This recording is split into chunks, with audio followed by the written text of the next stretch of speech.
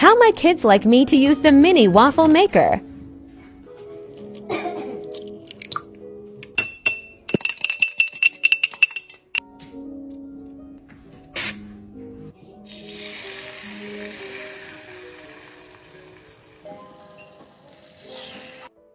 It rises to tell you it's cooked.